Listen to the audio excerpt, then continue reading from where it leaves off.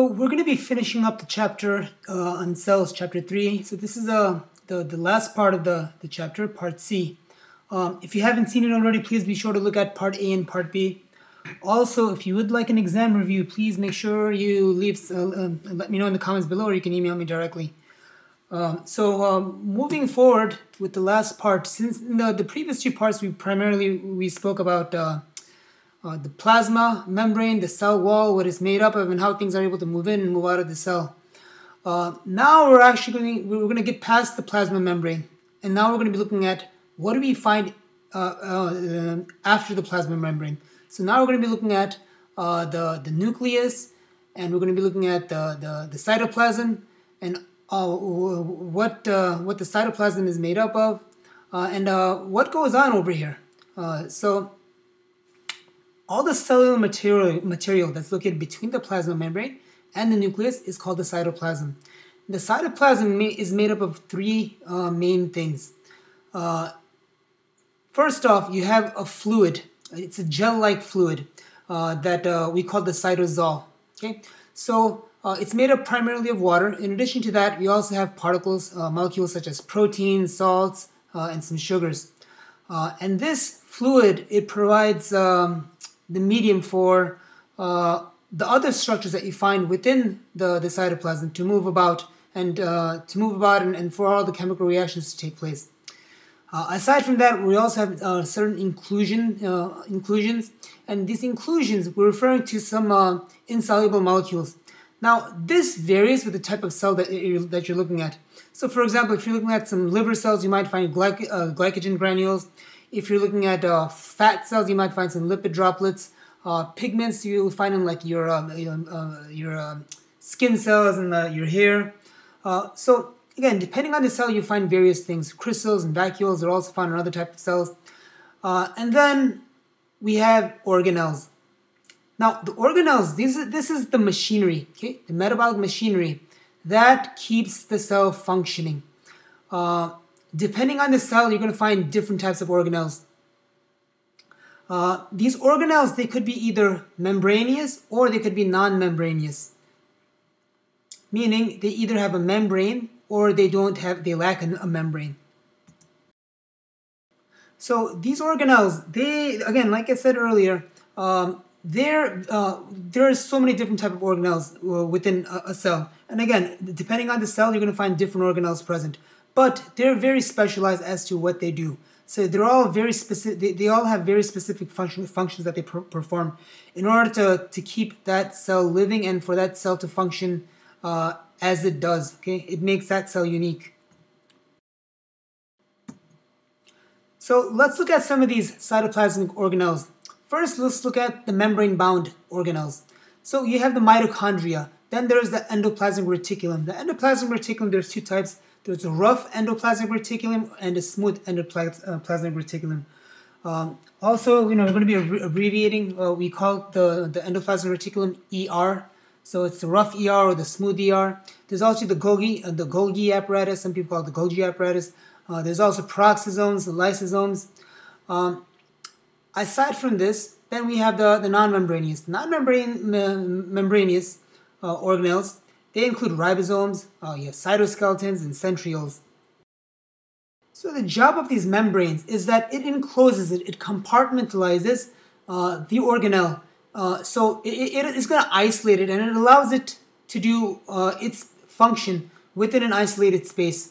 Uh, so this is uh, the, the, the importance, this is the, one of the main importance for, for the membrane. Uh, aside from that, uh, some of the, lipid, the, the lipids that we find that make up this membrane, it also allows for organelles to communicate with one another. So the mitochondria, uh, this is the powerhouse of the cell. Okay, that's what they call, people refer to it, or the power plant of the cell. The reason they call it this is because all the energy of the, the that the cell needs is going to be produced over here, uh, and that's uh, in the form of ATP, adenosine triphosphate, and this is an oxygen requiring uh, process. So it's we, we the we say that it's aerobic. Okay, when it requires oxygen, a cell requires oxygen, then that's aerobic. When there's no oxygen, uh, anaerobic. So uh, this process of producing ATP occurs uh, via uh, aerobic cellular respiration. Um, it's a double membrane. The outer membrane is very smooth and it's uh, it doesn't really serve that much of a function. No, well, it does, but you know, it's it's featureless. Uh, the inner membrane, however, it has lots of folds that are called cristae. Now, uh, on these cristae, we also find lots of uh, proteins that are embedded within it, and they play the main uh, they play a role in in producing uh, in in cellular respiration. Uh, the mitochondria also you're going to find DNA and RNA and ribosomes here as well. And the reason that it has this is because they're able to replicate themselves all, all on their own. Uh, in that, with that sense, they resemble the bacteria because they are capable of the same type of division that bacteria use. They divide by what we what we see in bacteria uh, termed fission. I have a picture of a mitochondria, and uh, if you look at it, first of all, the, just look at the shape. It's a bean-shaped structure. Uh, the other thing that we notice is that you have um, um, uh, the, the, double membrane. This is the outer membrane. Notice that it's quite smooth. The inner membrane it form, forms these folds. Again, these are the, what we call the cristae. And on that, again, when you look at it, you'll see enzymes and also see ribosomes and DNA, and you'll see RNA also, but they don't have it labeled over here. Uh, so keep in mind, this cell is making all the energy. Uh, it's providing all the energy that a cell needs. Okay, this organelle, I'm sorry if I said cell, but this organelle, this tool uh, of that of a cell provides all the energy requirements for a cell. So if you're in the case of a, a liver cell uh, or a, a, muscle cell, where you know the energy requirements are high, there's you're gonna find a lot. You're gonna find many more ribos uh, the mitochondria than a cell that's not as active. So less active cells will have uh, less mitochondria than more active cells. Uh, a red blood cell, for example, does not have a mitochondria at all. It has no energy needs. Uh, mitochondria, uh, the, the red blood cell, it, it's just a transporter cell. And uh, ox, uh, uh, blood, whole blood, blood plasma, is and the, the pumping action of the heart, which moves whole blood, transports the red blood cells around. Ribosomes are non-membranous organelles that are the site of protein synthesis and they're made up of protein and ribosomal RNA. Um, there's two switchable forms that we find in a cell. Uh, there's either free ribosomes, which float about freely, and this is uh, where uh, protein, uh, soluble proteins, uh, proteins that, that, that function in the cytosol, or proteins that are needed for their organelles are produced. The other uh, uh, the other type of uh, uh, um, uh, ribosomes we have are the membrane bound ribosomes. Now, membrane bound ribosomes, these are rib- these are the ribosomes that produce proteins that are going to be either incorporated into this, the plasma membrane or they're going to be exported somewhere else, exported out of the cell. So again, remember, we have two type of ribosomes they're either membrane bound or non-membrane bound. Uh, for the membrane bound uh, ribosomes, you're going to find them on uh, the rough endoplasmic reticulum, for example, the rough ER. And what are they doing? They're producing uh, proteins that, is, that are going to be exported out of the cell or that are going to be incorporated within uh, the, the, the plasma membrane. The free ribosomes, remember, they're making proteins uh, for uh, the, the cytosol that you find uh, floating within the cytosol to function for that, or other organelles. So please remember that. It's a very good question that, to be found on an exam. So now let's talk about the ER, the endoplasmic reticulum. Now remember, there's two types. You have a rough ER and a smooth ER that I meant, mentioned earlier. The rough endoplasmic reticulum has ribosomes attached to it. The smooth endoplasmic reticulum, they lack uh, or they don't have the ribosomes attached to it. So naturally, uh, their functions will be different. Now, when you look at the, uh, the endoplasmic reticulum, you're going to see that it's continuous with the outer nuclear membrane of the nucleus. Uh, it's made up of a series of parallel interconnected cisterns, and uh, these cisterns they're, they're flat, uh, they're, they're membranous uh, tubes that are filled with fluids. Um, and again, so when this is where, again, if you're looking at the rough ER, this is where you're going to find uh, protein synthesis uh, for uh, the, the, proteins that are getting exported out of the cell take place over here. So this is the place of interest for us to look at. So we're going to be going into detail about that. Uh, so let's look at each one of these individually. So again, Uh, this is the, notice this is the entire cell. That's the nucleus over here. And if you look closely, you'll see that, and you can see it better over here. This is the nuclear envelope. And uh, notice that it's continuous, this endoplasmic reticulum, with the nucleus, uh, the, the nuclear envelope of the nucleus. Uh, and there you have it right over here. And you can see these sacs, again, they're, they're folded. Kind of looks like the cisterns that we saw in, in, in the mitochondria. Uh, uh, resembles that a little bit.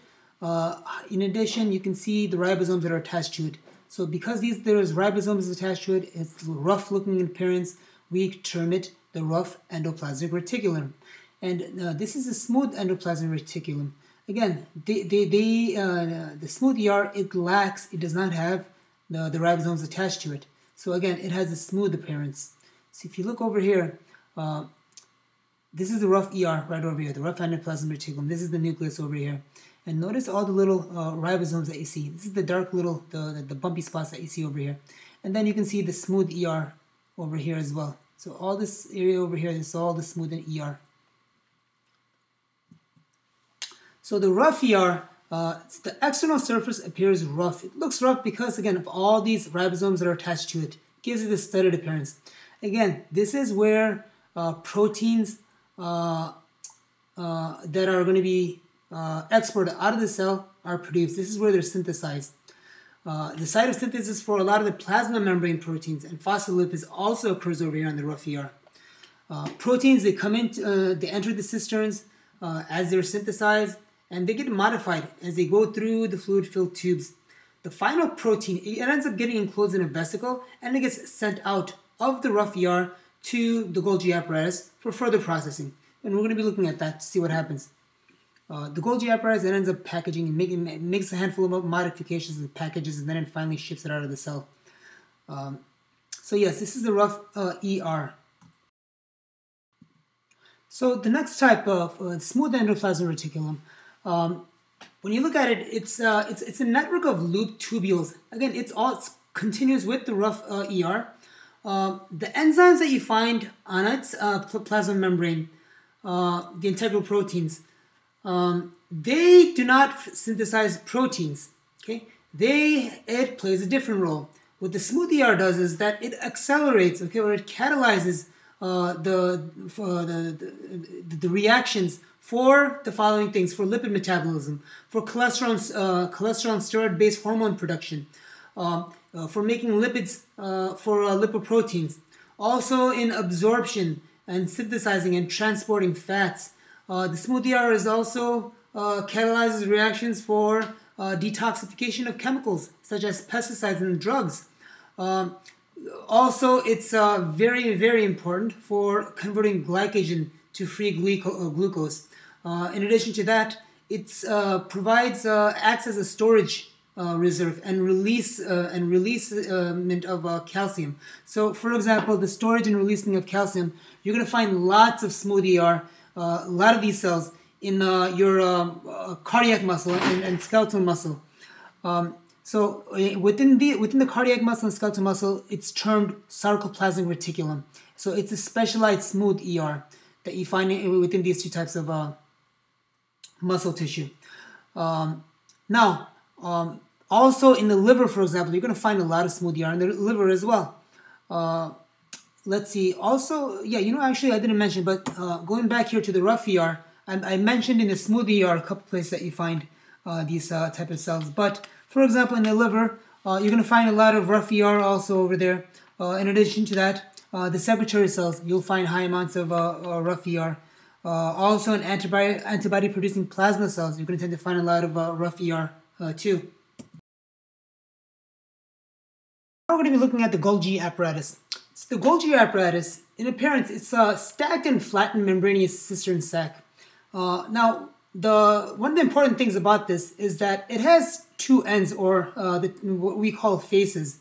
It has a, uh, a cis face, which receives the products from the uh, from the uh, the rough ER, and then it has a trans face, okay, or an outer face that ships off uh, the the complete product out of the Golgi apparatus. So what does the Golgi apparatus do? It modifies, it concentrates, and it packages proteins and lipids that it receives from the rough ER. There's three steps that are involved in this. Uh, first of all, as I uh, said earlier, uh, the vesicles that are shipped out of the rough ER, the rough endoplasmic reticulum, the transport vesicles, they come and they fuse uh, with the, the cis face of the, uh, the Golgi apparatus. Afterwards, um, the next thing that's going to happen is the contents from that ER, uh, from the, the rough ER, it will then be further processed in that, we're saying that the proteins and lipids, for example, they end up getting further modified. Um, sometimes you're also going to have sugars. Sugars, they'll be either cut up or sometimes they end up getting uh, added to to make them bigger. Other times they end up getting a, a phosphate uh, the, uh, added to it. Um, once that's taken place, so once the, the proteins, the lipids, the sugars, once they've been modified, then they end up getting tagged for wherever they're going to be delivered to. Uh, after they're tagged or they're addressed to where they're supposed to go to, they end up getting sorted. After they're sorted, then they end up getting packaged. After this point, the role of the Golgi apparatus further gets uh, complex in that it's going to act as a tra- traffic director in uh, controlling where these packages are going to be going to. And they take uh, one of three different pathways. Uh, so that, that the, the final package is going to leave uh, the Golgi apparatus, as I mentioned earlier, through the trans face. So remember, things come in from the cis face and they exit from the trans face. So here you see, this is your Golgi apparatus, this is the photo of it, and you see a vesicle from the uh, from the rough ER, a transport vesicle, it ends up fusing to the Golgi apparatus, and in the contents, it ends up uh, entering uh, the, the, the cis face of the Golgi apparatus. So over here, when it's uh, flowing through the cisterns of that apparatus, it'll end up getting modified. Uh, after it's modified, uh, then you know it's going to end up getting packaged. So if you, when you follow the diagram, uh, when you come towards the notice the faces also. So this is the cis face, the receiving end, and this is the trans face, Okay, uh, the shipping end. So over here, notice that these uh, the, these uh, vesicles are starting to form, and as the the, the proteins or or whatever ends up the products end up coming here, they get pinched off, then they're ready for export. Uh, and this is how they're exported out. So depending on the contents, uh, the final transport vesicle can take one of three pathways. The first pathway that we talk about, pathway A, the secretory vesicle that contains the proteins uh, and it needs to be shipped out of the cell, it's going to go to the plasma membrane and by exocytosis, the, the, uh, the, the, the product gets shipped out of the cell. The second pathway, pathway B, uh, when the product is going to be used for the plasma membrane. So if it's either a protein or a lipid, for example, uh, that vesicle, the, the vesicle that, that contains either the lipid or or the, the, the transmembrane protein is going to go and fuse with the plasma membrane.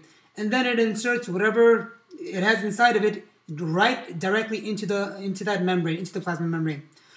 This the last uh, uh, uh pathway, pathway C, Lysosomes that contain digestive enzymes, they stay inside the cell and they just they hold their uh, contents within that vesicle until they're needed to be used. So when you look over here, uh, again, the, the, the steps that it's showing is uh, is this. Um, well, we already talked about this. Again, remember the, the rough ER. What ends up happening is uh, protein-containing vesicles that pinch off the ER. Okay, once they pinch off, uh, the, the, the vesicles pinch off the rough endoplasmic reticulum, they migrate towards the, the Golgi apparatus and they fuse with the Golgi apparatus. Once they fuse with the, with the, the Golgi apparatus, the contents will enter the, the cisterns uh, of the, the apparatus and then they end up getting modified okay, within these compartments. After they've been modified, then they end up getting uh, uh, are packaged within the different uh, uh, vesicles, okay, the type of vesicles that are here, depending on where it's ultimately going to lead to. So the first pathway, remember, if it wants to go outside of the cell, then it ends up getting packaged into uh, this vesicle here that ends up attaching to the plasma membrane, and then it's going to end up shipping out of the cell. Okay. The second pathway, uh, uh, where is this? Pathway B. Okay, there we go. Pathway B. Uh, so for example, within the, the, the, products within here, perhaps there's some integral proteins that the plasma membrane needs, or some uh, lipid uh, lipids that the plasma membrane needs. Once it gets, uh, uh once this vesicle uh, gets uh, produced and its contents are full, then it's going to go to that plasma membrane and then it ends up getting incorporated within that plasma membrane. Okay. The third type is whenever let's say there's lysosomes, okay? So the lysosomes they enter the vesicle, and then again it'll pinch, get pinched off the the the, the, the Golgi apparatus, and then it's going to remain within the cyto, the the, cytopla- the the cytoplasm of the cell.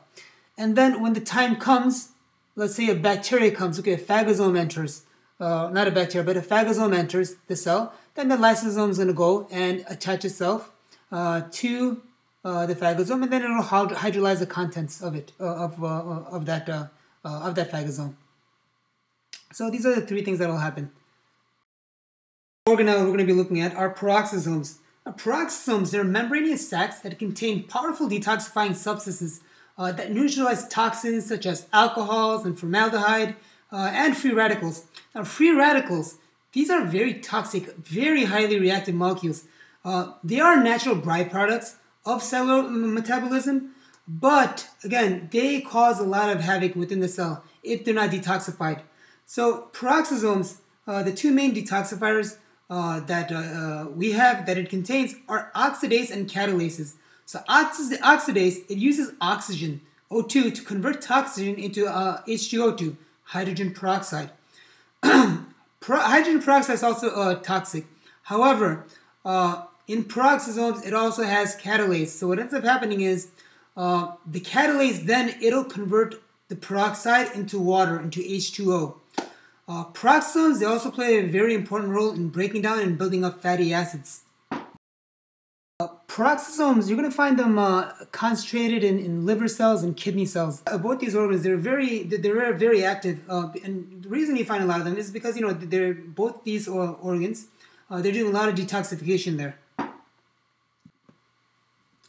Lysosomes are spherical membranous bags that contain digestive enzymes uh, that are termed acid hydrolases uh, because they work best in acidic conditions. Now, the, the membrane that's, uh, that you find in the lysosomes uh, are very special. Uh, they're important in two, two ways. First of all, these membranes, they contain hydrogen pumps.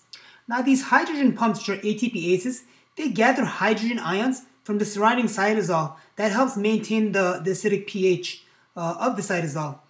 The next thing, secondly, it ends up retaining the, the, the, the, the dangerous acid hydrolases while it permits the final product of digestion to escape. In this way, uh, it provides a safe uh, area uh, or a safe zone uh, where um, the, the, the digestion it can take place safely inside the cell. Lysosomes, they're able to digest a broad range of biological material. Uh, they're able to break down or ingest, uh, they're able to digest ingested bacteria, viruses, and toxins. Uh, they're even able to degrade other non-functional organelles as they're you know they're, they're worn out or they end uh, they're uh, they're at the end of their life cycle. Uh, metabolic functions they're able to break down and release glycogen. Same thing they're able to break down and release uh, calcium from bone too. Uh, when the cell, when an, when a cell is injured, the cell wall, while you know, while it's very important, while it serves as two important uh, functions that I mentioned earlier, it, however, is somewhat fragile. So if that cell wall uh, does rupture, then the entire cell will end up, unfortunately, getting uh, destroyed, or the cell will die. Uh, so the other way that that that can occur is this when the cell is deprived of oxygen or when there's very high levels of vitamin A, both those things will cause the rupture of that membrane. And then that membrane, uh, uh, when the lysosome is released, the entire cell's died. That's referred to as uh, autolysis. And we see this uh, occurring, autolysis. For example, uh, when uh, the fetus is developing, when the fetus, it has uh, the webs that you find between uh, the fingers and the toes. Uh, that again is because of lysosome, okay, uh, autolysis. That that web is able to be digested uh, as the fetus further develops.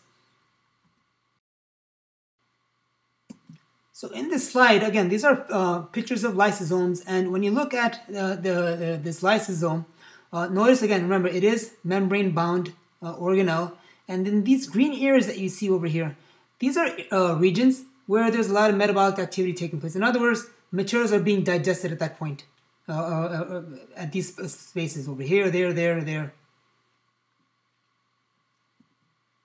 So lysosomal storage disease results when one or more lysosomal digestive enzymes are mutated and they don't function as they should. Tay-Sachs disease, uh, this is a condition where the patient, uh, they lack the lysosomal enzymes that are needed to break down glycolipids in the brain. Uh, when you have these glycolipids that start to build up, this interferes with normal nervous system function. You tend to see this uh, in uh, uh, individuals of uh, Euro- Central European Jewish descent. Uh, so, what ends up happening is is that these individuals they will be mentally retarded. They will, you know, it will lead to blindness. Um, you'll see seizures quite off frequent in these individuals, and death at an early age. Unfortunately, um, you know, usually the, the, the individuals with this uh, condition, they end up dying uh, before age five. Uh, endomembrane system.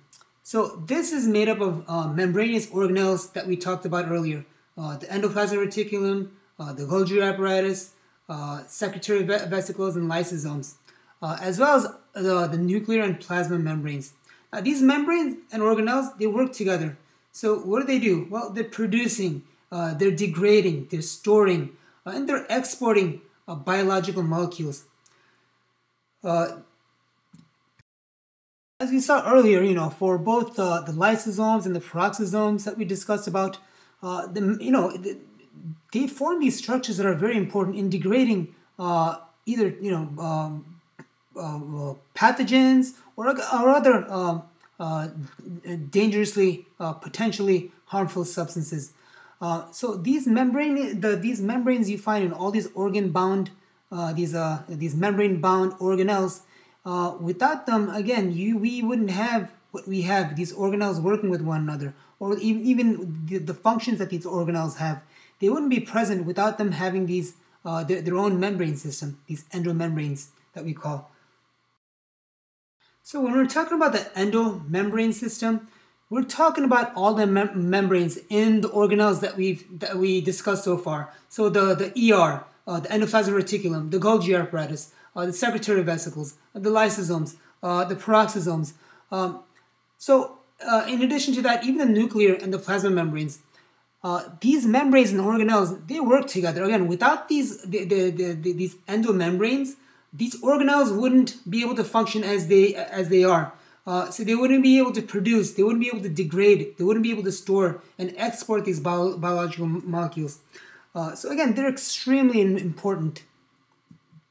So when you look over here, again, look at the smooth uh, ER. It's got the membrane. Uh, again, we talk about the membrane that we again that's continuous with the with the with the nucleus. Uh, the the rough endoplasmic reticulum, the Golgi apparatus, the mitochondria. Uh, again, it's extremely important uh, that these, uh, uh, these organelles are membrane bound. The skeleton, it's an elaborate network of rods that run throughout the cytosol. Uh, they act as the cell's bones, muscles, and ligaments by providing the cell structures and providing, uh, providing with the machinery to generate various cell movements. Now, the three types of rods that we see that are part of the cytoskeleton are now th- this is an order going from smallest to largest are the microfilaments, the intermediate filaments, and then the microtubules. So microfilaments, these are the thinnest of all the cytoskeleton elements. Uh, they're roughly about 7 nanometers uh, in width. Um, when uh, they are, however, uh, semi-flexible and they're made of the protein actin, uh, each cell is very unique into the arrangement of strands that it has. So no two, uh, no two cells are gonna are gonna have the same arrangement of uh, these microfilaments. However, uh, they do share a common terminal web, and you, what you find over here uh, in all cells at this terminal web, they're alike. So you see a dense cross-linked ne- network of microfilaments that are attached to the cytoplasmic side of the plasma membrane. And what this does is that it straightens the, the cell surface and it also helps resist compression. Now, some of these, uh, microfilaments, they're involved in, the cell motility. So it, it helps changes the shape of the cell. Uh, also, in for example, when we talked about uh, uh the amoeboid uh, uh, motion, it's because these microfilaments. They're the ones that are causing and, and, and allow the cell to have this amoeboid motion by way of the cams, the, micro, the, the microtubules being attached to the cams. in addition to that, you also can find this uh, in uh, during uh, cell division when the the cell is is about to split when the cleavage furrows are forming. this is also because of the microfilaments. so it's a very important structure that you have. Uh, same thing again, they're involved in endocytosis and exocytosis, uh, too. Uh, so here you go, this is a, an actin subunit. And you're going to find this in muscle cells also, these actin myosin complexes that form uh, in, in muscle contraction. Uh, so notice again, they're about 7 nanometers. Uh, and this is, a, if, you, if you look over here, uh, a microfilament uh, in a, uh, from the blue bat-like network that, that they call, kind of looks like a bat in, in this picture. Um, so let's look at the next filament. These are of the, in that we find inside of cell skeletons. are um, intermediate filaments. So again, this, the size, as the name suggests, is in between uh, the biggest and the smallest. So it's right in between. In It's roughly about 10 nanometers uh, uh, in width. So they're tough, they're insoluble, and they're more of a, a rope-like uh, protein fibers. Uh, they're made up of uh, tetramers. Again, that's four uh, fibrils that are twisted together to make one really strong, uh, one strong fiber. And because of this property, they have a high tensile strength. Uh, so it helps cells resist uh, uh, the pulling force. So the filaments attached to desmosome plaques and they act as internal guy wires. Uh, some of them have special names. So for example, in nerve cells, they're referred to as neurofilaments. And then in, in the epithelial cells, um, they're called keratin filaments. And again, we get these different names because of the, uh, uh, uh excuse me, because of the, the, the, various types of filaments uh, that these, uh, uh, the intermediate fibers are, are made up of, again, depending on the, the, the, cells that they're found. And then in this slide, you can see intermediate filaments. Again, notice that they're made up of four fibrils, and these are the tetramers that they're made up of. and again, they're about 10 nanometers in width. and in this picture over here, you can see the intermediate filaments that are form, forming the network that surrounds the, the nucleus over here. So microtubules are the largest of the cytoskeletal elements. Uh, they're made up of hollow tubes that are made up of uh, protein subunits called tubulins. Uh, these are constantly being assembled and disassembled. Uh, most of them, they radiate from the centrosome area of the cell, which is near the nucleus, and they help determine the overall uh, sh uh, shape of the cell, in addition to the distribution of the organs. Uh, that but the reason being that uh, the the micro uh, the these microtubules, uh, the organelles, they're they're tethered onto them to, to, to keep them in in, in place. Uh, these microtubules they also move. they, they'll move the, these or, the, the other organelles throughout the cell also. So many substances are moved throughout the cell by these motor proteins. So they act kind of like train engines and they, uh, uh, it's like a train engine and a train track. So, so they use the microtubules as the tracks, and then these uh, these proteins they power uh, the substance to, to, to, to, to move throughout. So again, it's, it's, it's a very efficient system. So here you go over here, you see these are the, the, the microtubule, these are the subunits that, is, that they're made up of. And notice that these are these are the thickest. In width, they're about 25, they're 25 nanometers. Uh, so over here, you'll see them uh, appearing as uh, gold structures, uh, and they're surrounding the nuclei over here again. So these motor proteins, again, uh, they're complexes that function in the motility. And functionally and structurally, they are linked to these microtubules. So think of them as kind of like engines or, or these train engines that, that are moving throughout these microtubules. Uh, so they can help in, in, in, the movement of organelles and other substances around the cell. Uh, so if an organelle needs to move from one place to the, uh, to the other, these motor proteins, they're going to be pushing them on the track uh, of the microtubule. Uh, so again, it uses the, the, the, these microtubule as their tracks, okay? And the cargo could be, again, it could be another organelle. They are powered by ATP. So again, it's, it's an energy uh, using process. So centrosomes and centrioles. Centrosomes, uh, which are located near the nucleus, essentially translated to meaning uh, cell centers. So what happens is, is that they serve as an organizing center for the microtubules.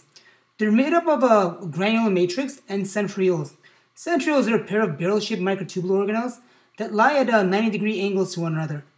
Uh, so newly assembled microtubules, they radiate from the centrosome to the rest of the cell. Uh, some of these microtubules, they aid in cell divisions, uh, while others, they form cytoskeletal tract systems.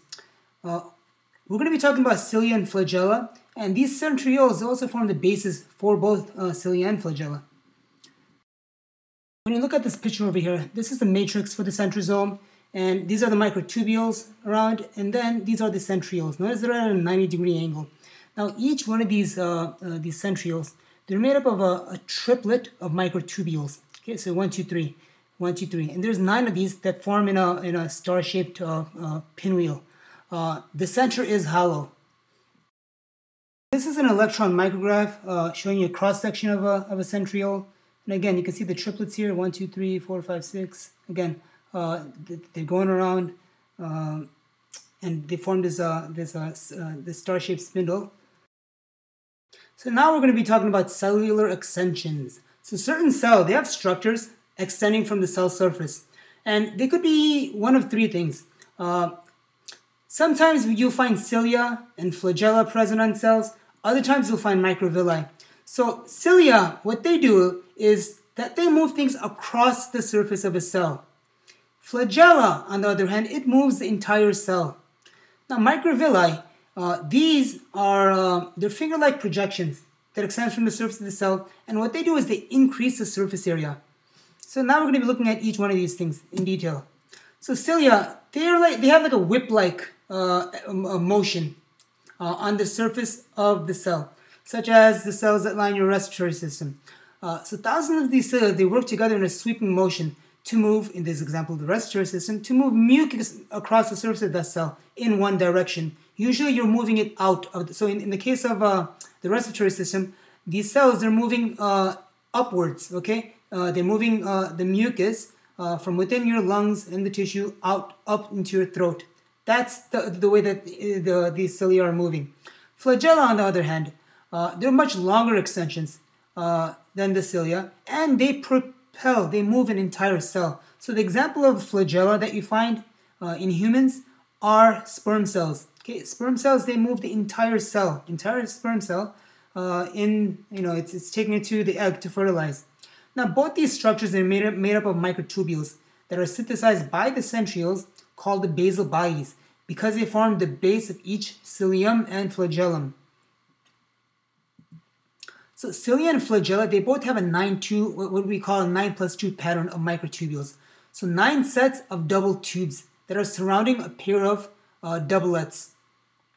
So a slightly different form of a 9-0 pattern of a centriole, where you have nine triplets with no tubules in the center. Um, so cilia movements alternate between power stroke and a recovery stroke. So well, what this does is uh, this alteration, it makes a current at the cell surface that moves substances upwards, okay, or forward. So in this picture, again, you can see the nine doublets uh, over here, and then the two central, central microtubules. Um, so now uh, what you see here is uh, this is a, uh, a cilia, and you see that it goes in. So this is the, the first thing that you see. Steps one through four is a power stroke. So notice how it goes. It, it's bending forwards or bending down, downwards. Imagine the opening is over here, uh, opening of a cavity, for example, since we're talking about the respiratory system. Uh, and this way it's going towards the lungs. So number one, it's straight up, it's, it's uh, at a 90 degree angle to the surface of the cell. Then it moves uh, closer and closer and closer to the surface of the cell. So this is this power stroke. The recovery is when it ends up moving back up. So 5, 6, 7, it's going to end up moving back to that original position. Uh, So again, this is what's happening here when you can when you see over here, these cells are coming uh, downwards and then they're coming back upwards. And they come back down and then they come back up. So this constant going back and forth, back and forth, back and forth. That as the mucus is, is, is coming to the surface, is being pushed forward. So microvilli, now on the other hand, microvilli, these are finger-like extensions of the plasma membrane. And what they do is they increase the absorption, the, the surface area uh, of that cell. So in places like the kidney and intestines, where absorption needs to take place, this is most important. Uh, they have a core of actin uh, microfilaments that are also that are used for stiffening uh, uh, these projections upwards for and, and, you know to hold them in place. So when you look over here, these are these microvilli, and notice all these finger-like extensions. Every time you know when they're going up and down, you, they're just increasing the surface area of the cell. Um, so now we have all you know this entire area for you know these nutrients to to uh, to sit on uh, sit upon and, and get absorbed inside. So again, uh, these are the microvilli up uh, over here, and then you can see these actin filaments that are helping them stand up, that are that are anchoring them, and then you have a terminal web uh, that these actin filaments are are attached to. And if you remember, we said that actin was a you know it's one of the proteins that you find in contraction. Uh, in this case, in, in microvilli, they don't contract, but again, they're just there to stiffen it up, stiffen up the, the, these uh, microvilli in place. And again, this the, the terminal web, you know, that they're connected to, it's just part of the cytoskeleton. So the nucleus, this is the largest organelle in the cell. Uh, if your brain is the control center for your body, then this nucleus is the control center uh, for, for the cell. Uh, it has the entire blueprint for how to make all the proteins that you find in your body. It responds to signals that dictate the kind of and the amount of proteins that need to be made. Uh, most cells are uninucleate, meaning that you know they have uh, one nucleus. However, some cells, like your skeletal muscle cells and uh, your uh, bone-breaking cells, uh, your osteoclasts, they're multinucleated. Uh, your liver cells also, they're multinucleated. Um, then you have uh, your red blood cells, on the other hand, that do not have a nucleus. Uh, well, let me rephrase that. Mature red blood cells, they are anucleate, meaning mature red blood cells, they do not have a nucleus.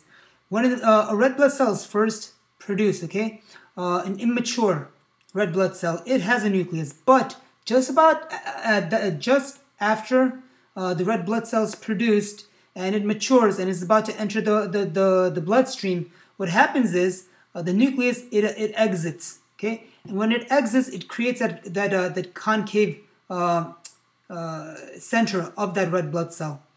Uh, so because of this red blood cells they usually live anywhere from 90 to 120 days before they end up getting recycled back uh, before they end up getting recycled so the nucleus has three main structures it has the nuclear envelope the nucleoli, and chromatin. And we're going to be looking at all these three uh, individual structures next, uh, moving forward. Over here in this picture, this is uh, the nucleus. So notice that you have this, it's a double layered membrane now. Notice you have the outer layer, and then this is the inner layer. So the outer layer, uh, it's studded with ribosomes also. Uh, and as you can see, uh, it's continuous with the rough endoplasmic reticulum. and again, just like the rough ER, uh, that has a, cytoplasm, uh, the, the, the ribosome studded to it. Uh, nuclear, uh, the nucleus does as well. Also notice that you have these pores. Now these pores, they're guarded by some, uh, by a, um, a complex of, uh, of proteins that are called the nuclear pore complex. And they regulate uh, uh, like large proteins, for example, from going out. so they, they, they, they, they transport things in and out of the, the, the nucleus. This darker area is the nucleolus, and then this is where the, the, the chromatin, it's condensed chromatin that you're looking at over here. Um, what else? Uh, so yeah, we're, we're, we're going to be talking about the, the fluid that you find here also.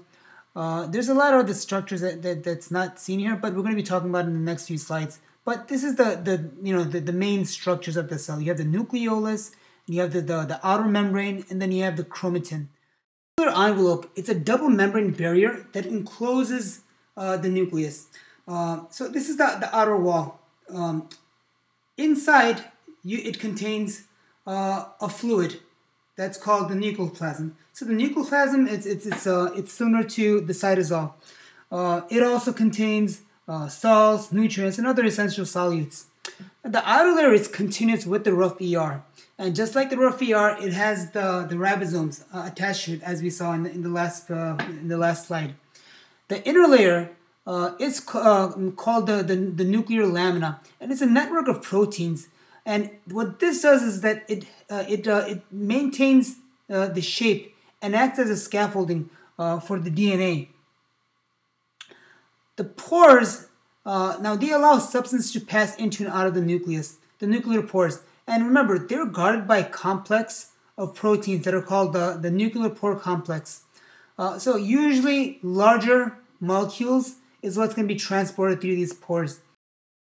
So in this slide, again, we're looking at a nucleus. And again, this is the surface and uh, of the nuclear uh, envelope. So uh, this is the fracture line of the outer membrane. And this, what we're looking at, these are the, the pores over here. So now, when you take a close-up over here, this is, uh, you can see these pores, and that's over here. And then you can see uh, the rings of uh, the proteins over here, the particles that are making up. Now, this photograph over here, this is showing the, the, inner, the, the inner lining, the nuclear lamina. And you can see these intermediate filaments uh, uh, are forming uh, these lamin, uh, this net-like structure over here. So the nucleoli, these are dark staining, non-membrane bound uh, spherical bodies that we find within the nucleus. Uh, they're involved in RNA or ribosomal RNA synthesis and ribosomal subunit assembly. Now, nucleoli, they're associated with nuclear organizer regions, which contain the DNA that issues a genetic instruction for synthesizing uh, our, uh, the uh, ribosomal RNA. As molecules of the RNA are synthesized, uh, they're combined with proteins to form one of the two kinds of ribosomal subunits. There's usually one or two uh, of these nucleoli per cell. So chromatin, chromatin is made up of 30% of thread-like strands of DNA, 60% uh, histone proteins, and about 10% RNA. Uh, they're arranged in fundamental units called nucleosomes. And these nucleosomes, they're made up of eight histones that are wrapped around uh, twice around the DNA. Chemical alterations of histones, they have an effect on DNA and they can uh, help regulate uh, gene, gene, expression. So, for example, uh, the presence of a methyl group on histone proteins, they can shut down the near, nearby DNA or, or attachments of phosphate groups to particular histone protein, uh, they could indicate that the cell is about to undergo apoptosis. So when chromatin is condensed, they're referred to as chromosomes. Now, the only time you're going to see chromosomes is during cell division. And the reason that the chromatin, uh, the, the chromatin condenses is to help protect that fragile uh, chromatin during the dividing process. So what you're seeing here is a chromosome, and this chromosome is um, chromosome is made up of two sister chromatids. Okay. Now, in this, when the cell is about to when the cell is uh, about to divide, and this guy's chromosomes, uh, you know, it's uh, uh, the chromatin in this state. We're saying that it, it's it's it's condensed, it's super coiled. Uh, all right, and uh, that's about it for this chapter. Uh, so uh, this is it for chapter 3. Uh, I hope you found it helpful. If you like it, please give it a thumbs up. Please share it and su subscribe to the channel. If you would like an exam review, again, please leave me an email or uh, leave it in the comments below, and I'll be uh, I'll be more than happy to work on one for you guys. thank you for watching. Best of luck on your exams and your courses that you're taking.